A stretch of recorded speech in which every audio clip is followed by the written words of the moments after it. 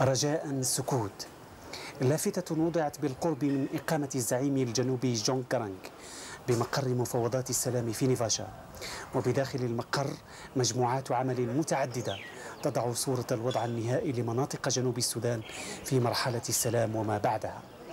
ويرى الجنوبيون داخل هذه الفيلا وخارجها أن مرحلة ما بعد السلام سوف تكتب تاريخا جديدا في حياة جنوبي السودان.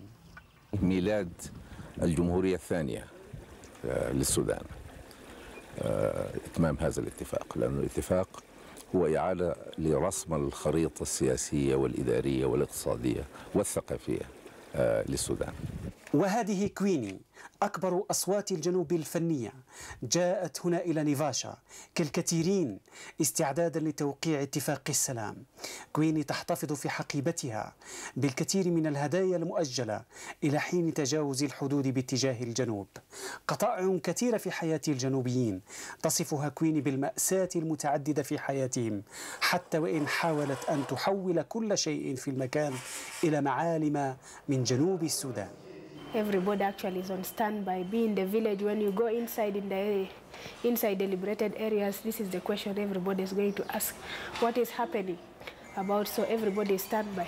لكن فرحة الاتفاق بين الجنوبيين لا ترضي حقيقة الوضع المأساوي لهؤلاء فالقرى والمدن الجنوبية سوف تحتاج إلى الكثير من الجهود التنموية العاجلة جدا حتى يتمكن الجنوبيون من ممارسة الحد الأدنى للحياة وبصورة طبيعية وكل الآمال معلقة حاليا على مشاريع إعادة الإعمار في مناطق شهدت حروبا متجددة طيلة الخمسين سنة الماضية كما قتل فيها أكثر من مليون شخص وهجر مليونان آخران uh, food, medicine, education.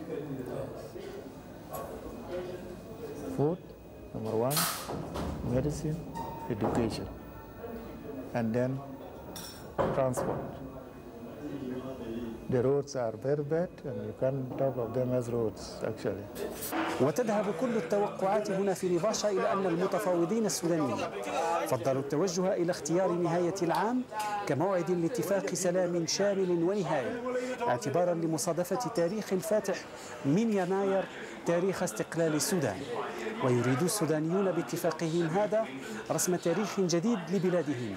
نحن لا نريد فقط أن نوقف الشر نحن نريد أن نفتح فرص جديدة لبلادنا نريد أن نعيد بناء ما تهدم منها بسبب الحرب. يصف الشماليون اتفاق السلام النهائي المتوقع بين الساعة والأخرى هنا في نيفاشا بأنه الحالة المكملة لاستقلال البلاد الذي ظل منقوصا بسبب النزاع في الجنوب. ويصف الجنوبيون الاتفاق بأنه الاستقلال الثاني في تاريخ السودان. لكن الجانبان يجمعان على أن اتفاق السلام النهائي هو الميلاد الجديد للسودان الجديد. ربح فلالي الحرة نيفاشا كينيا.